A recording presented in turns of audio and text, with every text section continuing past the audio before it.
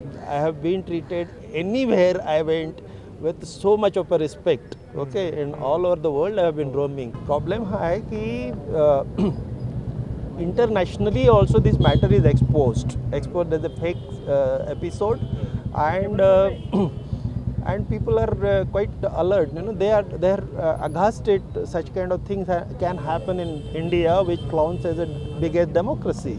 Sir ये बताइए कि जो आज का फैसला जो कोर्ट ने दिया है उसको लेकर क्या कहेंगे आप नहीं अच्छा है फैसला I would welcome it because okay this was a technical matter and at the मुझे पहले ही uh, ऐसे होना नहीं चाहिए था जो पुलिस ने जो किया है अरेस्ट वगैरह वहाँ पूरा ड्रामा बना के और यहाँ पर लाया लाया ये itself is objectionable so होना नहीं चाहिए था। अभी जैसे कि जज ने ऑर्डर दी है दैट इज़ गुड ऑर्डर